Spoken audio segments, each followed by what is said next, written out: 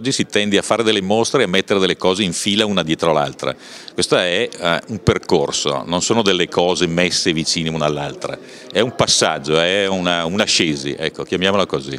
La Porta dell'Angelo, una mostra che racconta il percorso e il pensiero di Ugo Riva attraverso 22 sculture e 7 disegni. Adesso arriva anche un catalogo dell'esposizione visitabile sino al prossimo 7 gennaio nella Fortezza Medicia di Arezzo, che offre una lettura approfondita dell'arte del maestro bergamasco e una descrizione critica delle sue opere. È un catalogo veramente stupendo eh, che dà una rappresentazione ehm, sognante di questa bellissima mostra, eh, curatissimo nella qualità, eh, curatissimo nei contenuti e quindi sì, è un bel regalo di Natale. Il regalo ce l'ha fatto Ugo Riva a portare qui le sue opere. Ancora mostre in fortezza, un luogo riscoperto dagli aretini e scoperto dalle giovani generazioni.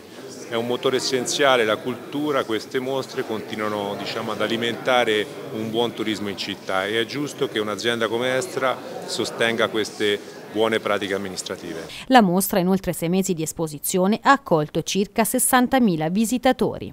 Ugo Riva è un artista che ormai è arrivato al punto più compiuto della sua parabola e dovendo trovare un degno successore di Taimer che è un artista con un'alta densità di, di visione dell'Occidente, si è pensato a Ugo Riva perché è chiaro che o andiamo a cercare i morti e troviamo molti scultori importanti, anche toscani, o cerchiamo i vivi e occorre che essi abbiano una integrità di immagine che non venga confusa con i castica e con altre eh, fandonie di una ricerca artistica velleitaria.